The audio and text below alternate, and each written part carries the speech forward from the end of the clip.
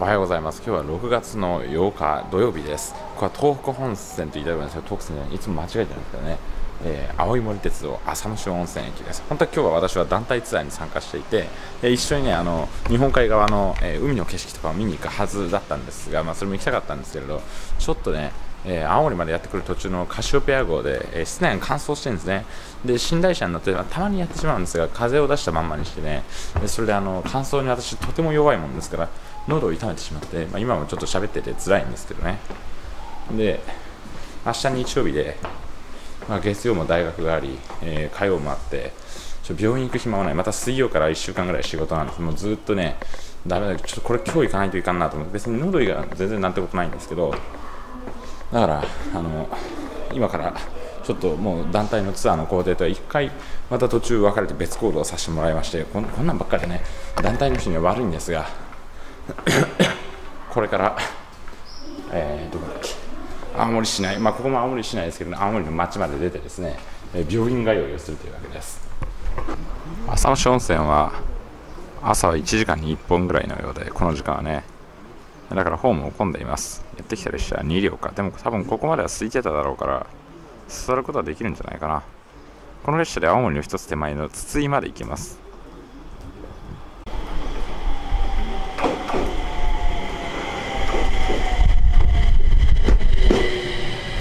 座れそうにはないな。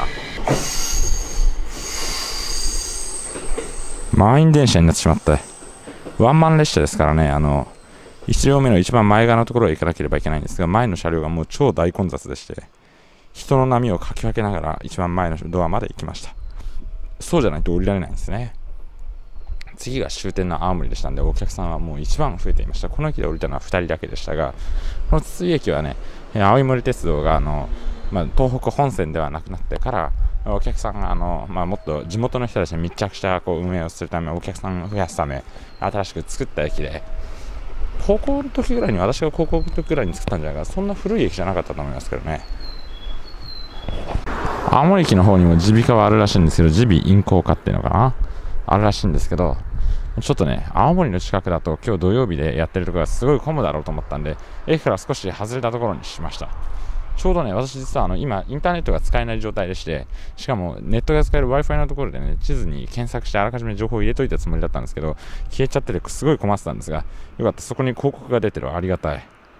やっぱね、東北とか北海道とかそういうところに来ると体調崩しがちな今日も寒いですしね、まあ、カシオペアの空調でやられたんだから、別にあんま東北とか北海道とか関係ないような気もするんですけど、まあ、ともかく、ちょっとね、早いうちに直しておかないと、まあ、元気ではあるんですけど、もう前にもね、グアム行った時に、あの、喉めちゃくちゃ痛かったんですが、まあ、グアム島の湿度が高いので、あの、おかげさまで治りましてね、良かったんですけれど、ちょっとまた来週とかすごい大事な仕事があるんで、さすがにちょっとこのままの状態ではまずいなと思ってたところなんですよ。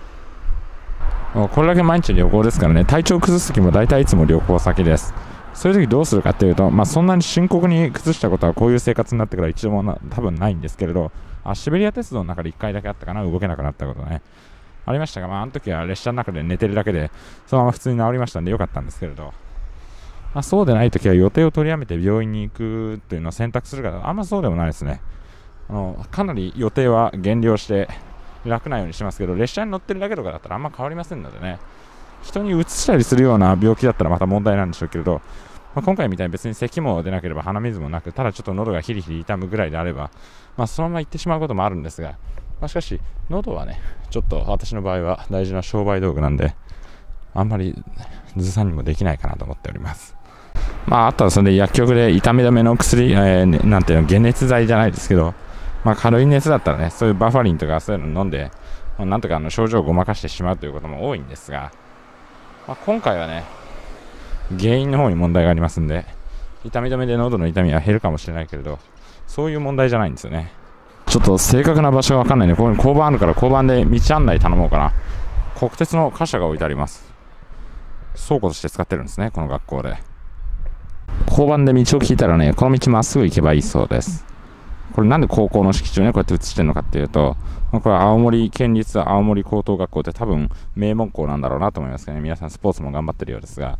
この門で知らなかったんですけど、あの八甲田山の雪中行軍、皆さん分かりますね。あの雪中行軍をやった、えー、青森第五、えー、第五歩兵第五連隊でしたっけ？ともかく有名な五連隊、えー、それが、えここにあったらしいんですね、もともとね。で、えその五連隊の、え当時の門をそのまま使ってるんだそうです。だからそすすごいですよね、明治時代の。喋ってる喉が痛いわ。まあ、あと喉が痛いから大事を取って病院に行くっていうのはね、これは何も私が YouTuber やってるからっていう理由だけではなくて、私は本当にあの喉が弱くてね、何かあるとすぐ喉がやられて、まあ、その後数日後に熱が出たり出なかったりってことなんですが、早いうちに手を打ってもね、あのその後、まあ、熱とかにあの上がったりとかすることもあるんですけれど、まあ、ともかくこういう旅行中の時は行ける時に病院に行って早いうちに手を打っておくっていうのが本当に大事でね。そのために自分があのいつもどういう風にして風邪をひくかとか、こういう状況になったらば自分は風邪をひきがちだとかね、あとあの温泉から上がった時に湯冷めする云々とか、えー、それからあとは硫黄成分が濃いところは私はどうも弱いらしくて、それが原因で喉がやられたりね、あの前には酸性のものを飲んだらばなんか喉が、えー、猛烈に痛くなって、その後、えー、風邪をひいてしまったということもありましたが、まあ、ともかく、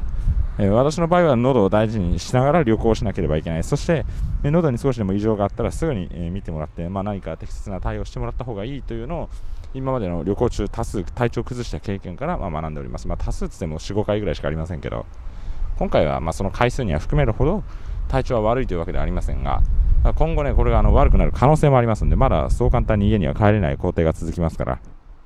特に旅行の敵はあれですよね、乾燥？まあ、肌の乾燥とかそういう美容とかは気にしたことありませんけど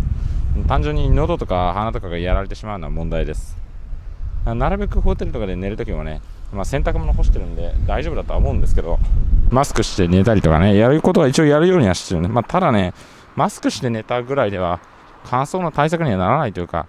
結局本当にもう喉が弱りきってる時って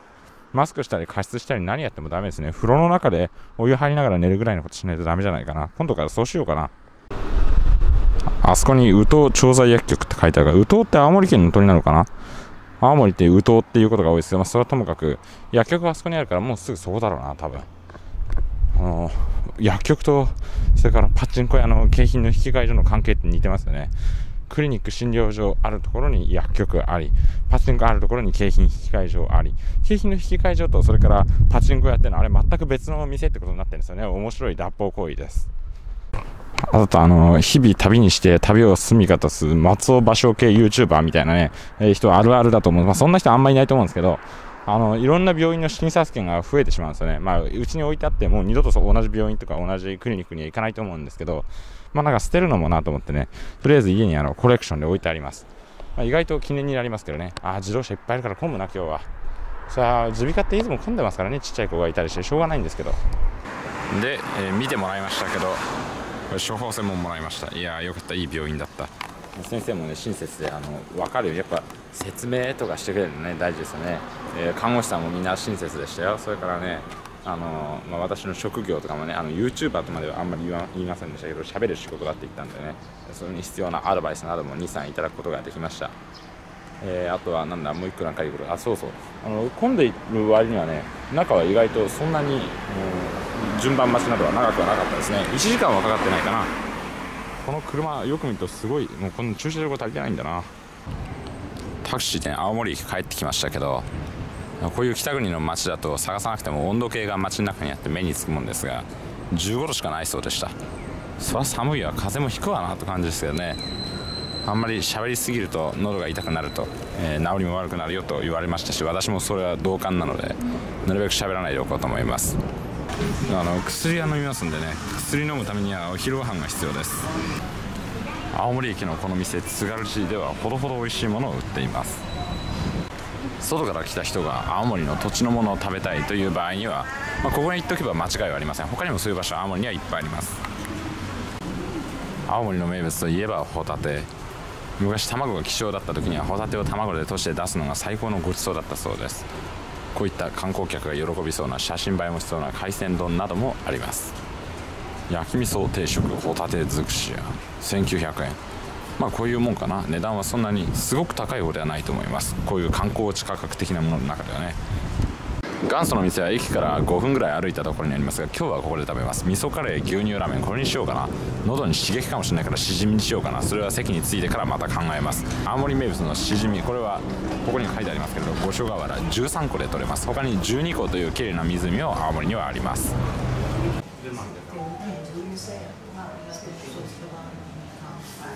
よしじゃあすいません。あのもうこんぐらいですね。させていただきまして喉も、えーだいぶ良くなってきま良くなったっていうか痛み止めを飲んだんで痛みがマシになっただけですから、まあ、そのことは肝に銘じてね、えー自分で、えー喉の使いすぎを、えー収めておきたいと思います。痛みごまかしただけで本質的にはあの何も良くなってませんのでね。そのことは理解して落ち着いてあと3時間4時間ぐらいかな。カシオペアがやってくるまでかかりますので待っていたいと思います。じゃあこんな感じでした。ちょっとしたあのオフショットみたいな感じでご覧いただけたらと思ったんですけどこういう動画がつまらなかったらやめます。まあそれは視聴数とかね再生時間見れば分かりますんでありがとうございました。